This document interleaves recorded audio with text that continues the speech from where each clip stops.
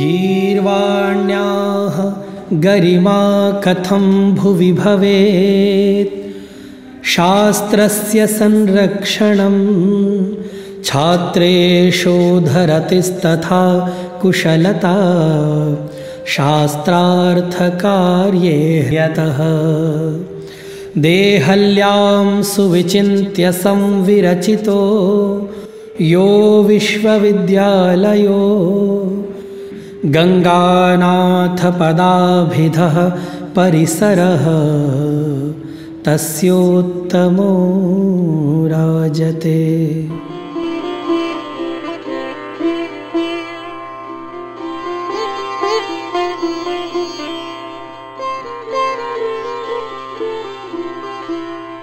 गङ्गानाथ झा परिसरः अनुसन्धान प्रकाशन, संपादन, पुस्तकालय, संग्रहालय शोध प्रशिक्षणादि विश्वविश्रुत चकास्ति।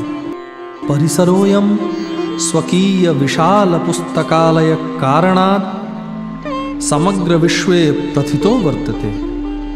पुस्तकालयेऽस्मिन् एकविंशत्यधिकपञ्चशत एकोनषष्टिसहस्रसङ्ख्याकानि पुस्तकानि वर्तन्ते। अनेन ग्रन्थराशिना न केवलं परिसरच्छात्राः अपि तु समग्रदेशस्य विश्वस्य चापि शोधच्छात्राः लाभान्विताः भवन्ति। परिसरस्यास्य सङ्ग्रहालयोऽपि अतीव समृद्धो वर्तते। यत्र पञ्चसप्तत्यधिकचतुश्शतोत्तरषट्पञ्चाशत् सहस्रसङ्ख्याकाः महत्त्वपूर्णाः हस्तलेखाः सङ्गृहीता वर्तन्ते। परिसरद्वारा अद्यावधि षड्चत्वारिंशदुत्तरशतपुस्तकानां सम्पादनं प्रकाशनञ्च कृतम्। येषु हस्तलेखा अपि सम्मिलिताः। परिसरद्वारा journal of the Ganganath Jha campus U G C care listed उशति इति शोधपत्रिकायाश्च प्रकाशनं क्रियते। गङ्गानाझा परिसरोऽयं केन्द्रीयसंस्कृतविश्वविद्यालयस्य शोधप्रशिक्षणकेन्द्रम् अपि वर्तते। यत्र केन्द्रीयसंस्कृतविश्वविद्यालयस्य सकलपरिसरीयशोधच्छात्राणां कृते विद्यावारिधिपाठ्यक्रमस्य अङ्गतया प्राक् शोधपाठ्यक्रमः सञ्चाल्यते प्राक् शोधच्छात्राणां सर्वविधिविकासाय विविधाः पाठ्यक्रमाः बहुविधाः कार्यक्रमाश्च आयोज्यन्ते।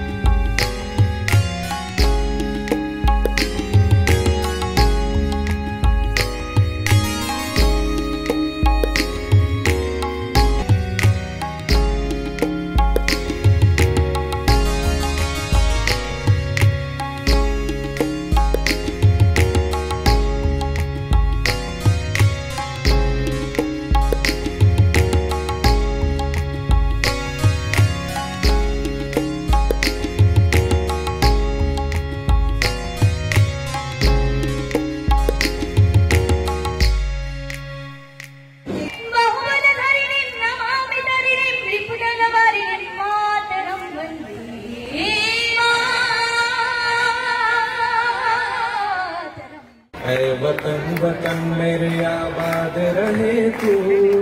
मैं जहाँ रहूँ, जहाँ मैं याद रहे तू।